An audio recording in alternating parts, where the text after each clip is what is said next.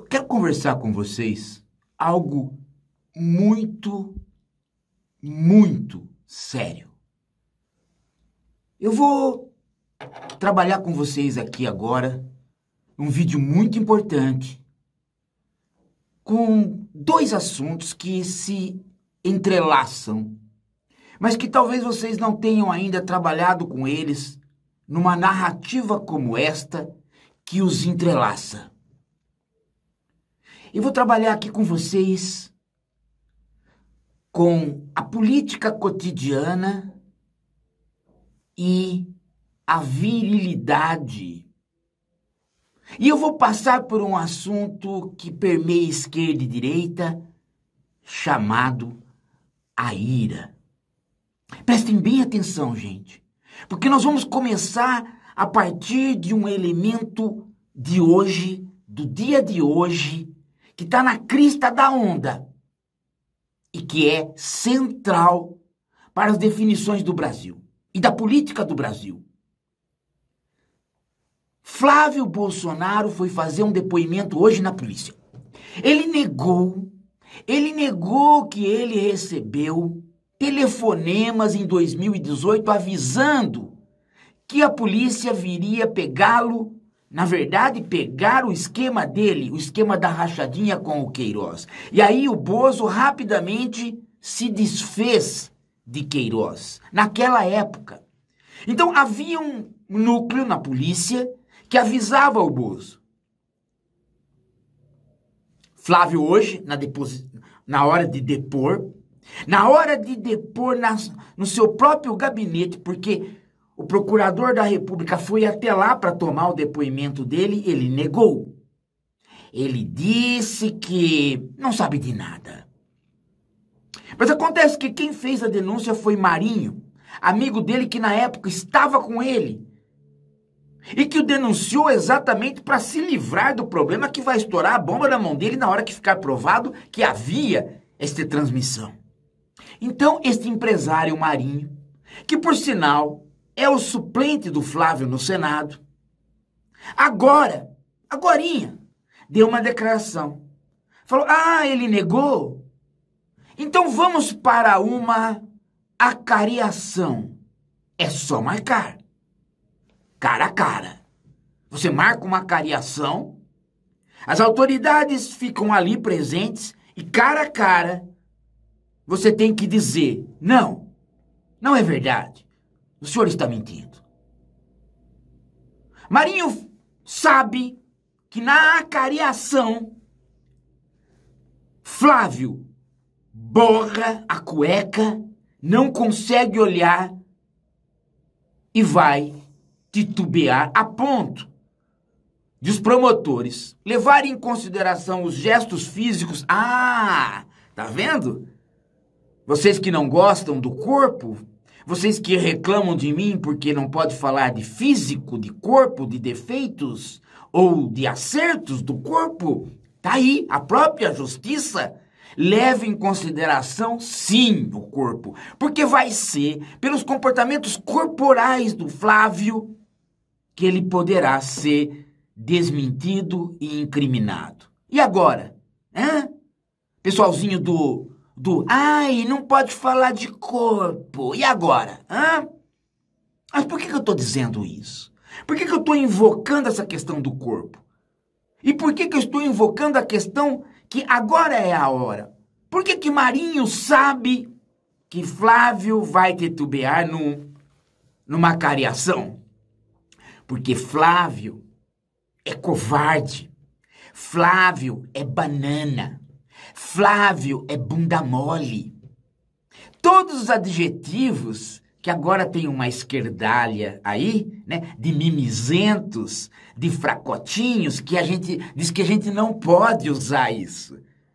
Mas fracote de um lado, Paulo Giraldelli de outro. Eu uso, porque é exatamente a fraqueza, a covardia, a bananice a patetice do Flávio que vai denunciá-lo e nós vamos pegar ele por aí. Por que, que nós sabemos disso? Pelo debate. Não se lembram? Não se lembra que a Jandira Fegali teve que oferecer água e segurar porque ele teve um troço na hora de debater numa campanha política lá no Rio de Janeiro? Tá na net. Ah, já sei. Mais uma vez, a esquerda não pode comentar isso, não é? Porque a esquerda não pode dizer que Flávio Bolsonaro é um fracote. Não pode. Pega mal, né? A esquerda foi se encalacrando nesta ideia de que o fracote, o covarde, o banana é que é o ídolo. E aí, quando o adversário é covarde, fracote e banana, a esquerda não pode criticar. Todo mundo na net fez uma gozação em cima do Flávio Bolsonaro. Mas tem um grupinho de identitários, de mimizentos, youtubers mirins que vivem me atacando. Não, imagina, isso é comportamento eh, da direita, não pode criticar isso. Eu critico como todo mundo critica. E cada vez que a esquerda esquece disso, com pruridos, ela vai pro buraco. Não vamos esquecer disso. Não vamos esquecer que o Flávio titubeou, quase caiu de costa, passou mal. Nesta hora, naquele momento, Flávio deu sinais que um dia, se ele tivesse que prestar contas na justiça, o acareamento seria o melhor modo de fazer com que ele tremesse. E ele vai tremer. E o Marinho está apostando nisso. Vamos para a cariação, ele disse. Nenhum comentário da esquerda mimizenta. Não pode haver cariação. Onde já se viu esse constrangimento. Né? Vejam como nós estamos agora diante de um impasse. Um impasse não na direita. A direita está encalacrada com esse caso do Flávio. Mas o impasse está na esquerda. Por quê? Porque a esquerda criou, né, criou algo que não é ela. Ela criou o banana. Ela criou o covarde. Ela criou o mimizento. Ela criou o Flávio Bolsonaro na esquerda. Quem são eles? Os mesmos youtubers que me atacam. Eles falam que eu sou grosseiro, que eu ofendo, oh, que eu falo de defeitos corporais, que eu falo de comportamentos corporais. Não pode. O mundo não tem corpo. As pessoas não têm corpo, elas são todas anjinhos. Toda essa gente, esses mimizentos que estão aí, inclusive o chefe deles que faz a orquestração do ataque, aprendeu a jogar bolinha de gude no carpete. É gente que nunca andou na rua descalço. É gente que nunca foi numa favela, nunca esteve vivendo necessidades. É gente fraca. É gente fraca. É gente igualzinho Flávio Bolsonaro. Que usa uma arminha do lado, mas que outro dia, para pegar a arma, quase que deu um tiro no pé. Não estão sabendo disso? Pois é, escapou a arma da mão dele, quase que pega o tiro no pé. Porque ele é um bundinha, ele é um patetinha. E essa esquerda que tá aí, que quer se fazer de identitária, que reclama do Lula quando o Lula se postava gritando nas assembleias, que reclama do Lula quando ele vai num bar e pede uma pinga, que reclama do Ciro quando o Ciro enfaticamente xinga o Bolsonaro, essa esquerdinha aí, esses grupelhos de mimizentos, são os mesmos que quando estão lá na sala de aula e a gente manda estudar, eles começam a gemer, eles começam a chorar. E quando eles não querem estudar e a gente chama eles de burrinho, eles gemem, gemem, gemem. Por isso que eles me atacam. Sabe por quê? Porque no fundo eles não querem que a gente possa fazer com o Flávio Bolsonaro o que a gente deve fazer, que é dizer: você, Flávio, é um banana. Você é um perdedor, você não é um vencedor. Num regime de meritocracia, você perderia sempre. Você perderia. Você é um perdedor. Esta virilidade não é cobrança é uma situação de homens e mulheres que podem honrar, honrar o seu patrimônio cultural, a sua alma. E esta honra passa pela ira. E a ira é diferente do ódio.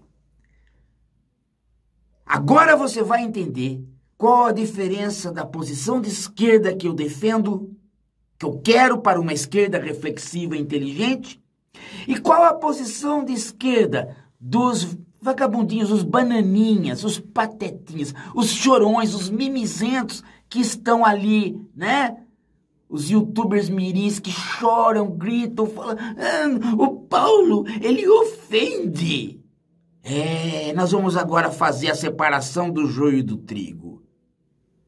Quem somos nós e quem é esses aí, os covardões. É porque na esquerda começou-se a confundir algo que na modernidade está confuso, que é a ira e o ódio.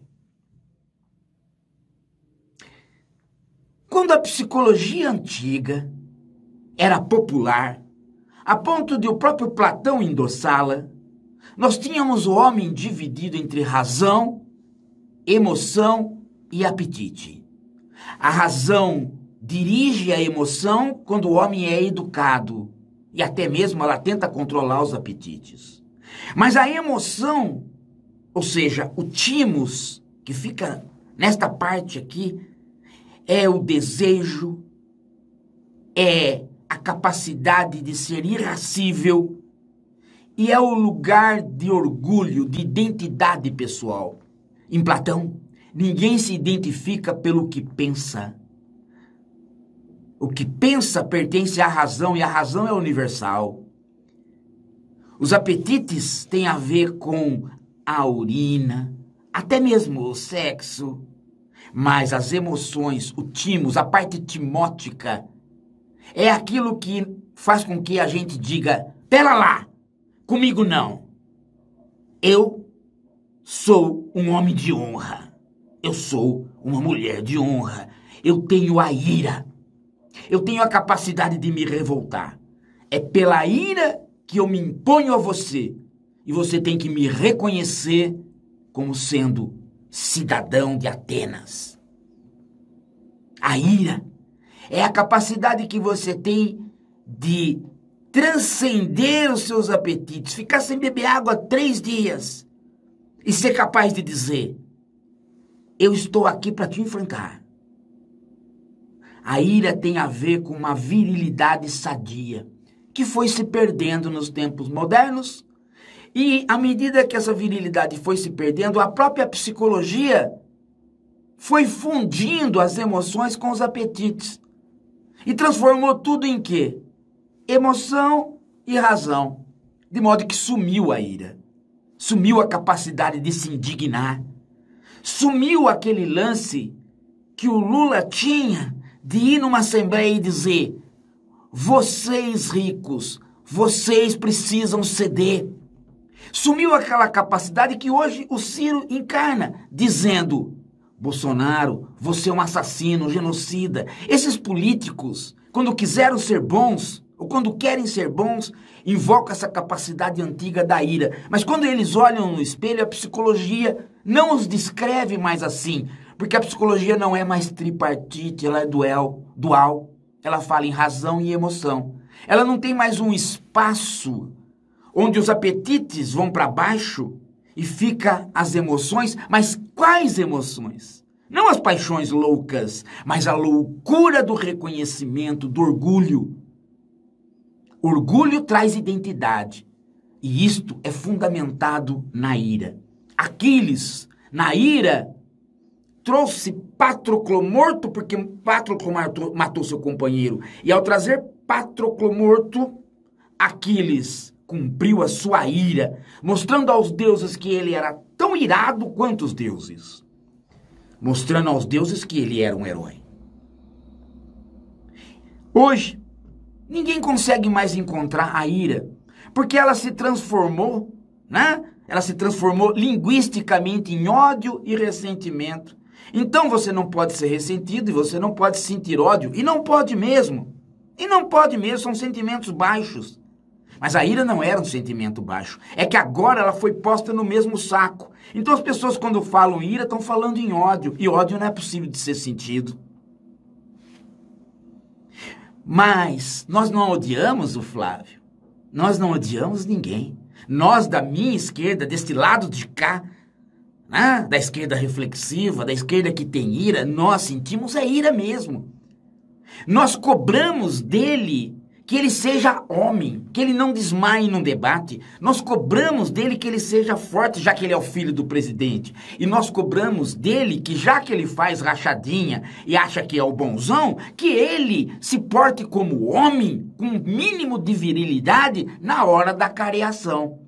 Mas esta esquerda que está lá, dos mimizentos, não pode fazer essa cobrança. Sabe por quê? Porque eles próprios não têm ira, não têm orgulho, não têm identidade. Eles estão submetidos a rastejar no mundo, dizendo: ai, não me machuque, ai, não, você é mal, ai, você é bruto, você xinga, você, ai, não faça isso para mim. Eles vão tentando fazer com que todo mundo fique medíocre como eles, fique mimizento como eles, fique sem virilidade como eles. Eles querem corroer as pessoas para que elas percam a capacidade de ter orgulho. Inclusive, eles começam né, com esse papinho: seja humilde. Não, mas por que, que eu vou ser humilde? Calma lá. Eu não tenho direito de ter orgulho por aquilo que fiz? Não. Pera lá, você não fez nada, você é um bunda, você não estudou, você falsificou os seus diplomas, você fala que é escritor e não é, você é um bosta. E você não pode ter orgulho de você, mas eu posso porque o que eu fiz é certo. Então, este orgulho, gente, eles não querem poder ter. É aquele aluno que você chega para ele e fala assim: Ó, oh, você tá sendo burro, meu amigo. Você tem que estudar. E sabe o que ele faz? Ele vai na reitoria reclamar de você. Agora tem o aluno brioso. Tem o aluno orgulhoso, com ira, que ele fala: Calma lá, professor. Eu vou lhe dar o toco, troco estudando e tirando 10 na próxima prova. Eu vou lhe mostrar quem sou eu. Este tá do lado de cá. O fracote, o vagabundinho, o covardinho, ele tá do lado de lá. Ele deveria sair da esquerda e ir para a direita do Flávio Bolsonaro, porque ali tá o pateta, ali tá o covarde, ali o cara que tá o cara que desmaia no debate. E por desmaiar no debate, é que o Marinho tá falando: venha para a cariação. Eu sei que você não vai aguentar a cariação. Olhos nos olhos você não vai aguentar. Vocês estão me entendendo, gente? Vocês estão me entendendo como a esquerda se encalacrou porque agora ela não pode botar o Flávio Bolsonaro na parede por uma simples razão. Uma parte dessa esquerda ficou igualzinha ao Flávio Bolsonaro. Covarde, mimizenta, incapaz de enfrentar os problemas da vida. É aquela esquerda que diz: não vamos sair com os negros na rua. É a esquerda de classe média. É a esquerda que não é esquerda porque, no fundo, no fundo, ela só luta por pautas identitárias e pelo liberalismo. Na hora que você fala em luta de classe, na hora que você fala dos problemas econômicos, ela foge. E na hora que você fala em ser macho, ela foge mais ainda. Ai, é machismo, ele é machista, ele é machista. Ele gosta de mulher, então ele é machista. Tá assim. Você quer criar o seu filho assim? Como esse tipo de esquerda ou como a direita, que é o Flávio Bolsonaro? Você quer criar assim? Você quer transformar o seu filho nesse tipinho de Joaninha pintadinha de amarelinho? É isso? É isso? Ou você quer criar o seu filho com ira, com disciplina mental, com capacidade de reação e de orgulho. Eu aprendi a ter orgulho estudando na escola pública e no basquete, que é o que a gente chamava, né? Já que a gente tiraram o nome de timos de nós, tiraram o orgulho, tiraram a ira, nós passamos a chamar isso no basquete e nos esportes em geral de raça quando estava empatado e alguém fazia corpo mole, a gente apelava e falia, falava: Você não tem raça, mostra a sua raça. Raça significava: Eu vou até o fim, eu me desdobro. Esse cara pode ganhar de mim, mas para ganhar de mim ele vai suar sangue. E aí aparecia uma força infernal que era a ira. Mas a gente não sabia por quê? Porque a psicologia não tinha mais o aparato timótico. Ela tinha reduzido a, a descrição do homem, a narrativa do homem, a só dois compartimentos, não três. Raça é o que o Flávio Bolsonaro não tem. Raça é o que essa esquerdalha identitária, esses youtubers né, mimizentos que estão aí gemendo e vão gemer mais, é isso que eles não têm. Nós precisamos de uma nova esquerda que seja reflexiva, mas que seja, antes de tudo, viril, inclusive com mulheres viris.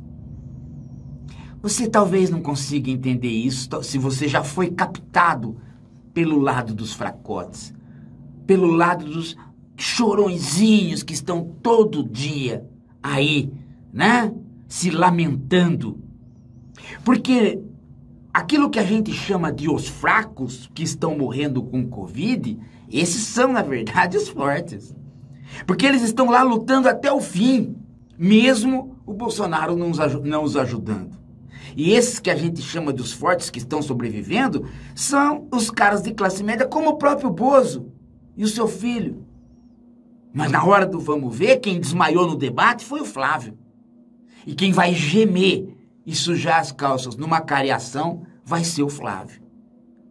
A República, gente, a República, ela é um pouco diferente da democracia.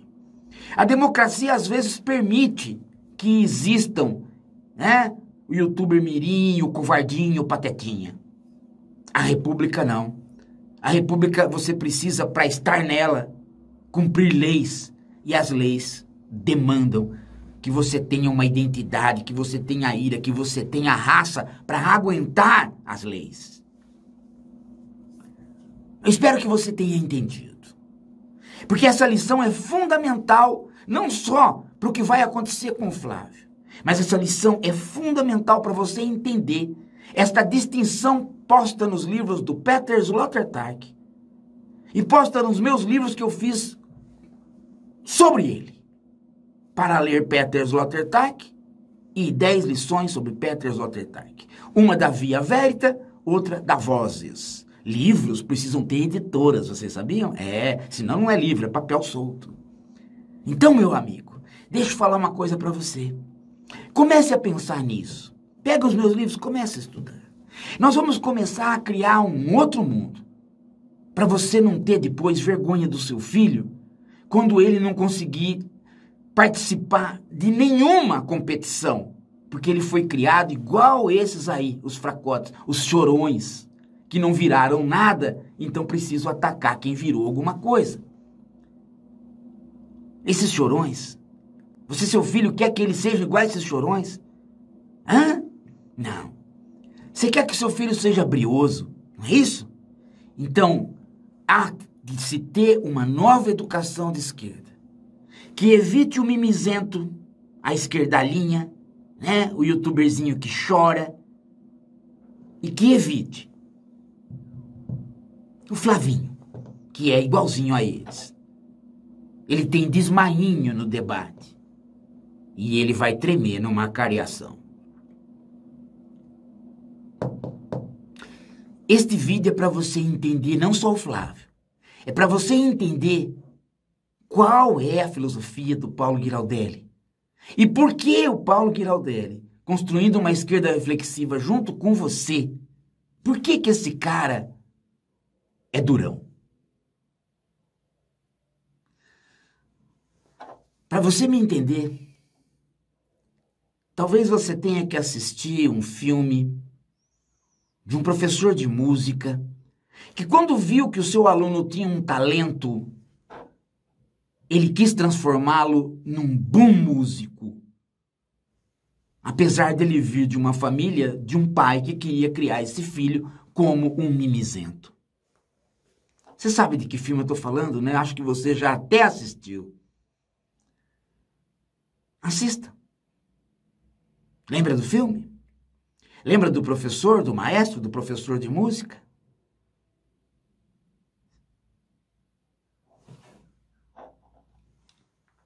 Você que escolhe. O filho é seu e o destino é seu também. E você mesmo. Você pode estar com 40, 50 anos e você pode descobrir que você não quer mais ser um bundão e vir para o nosso lado.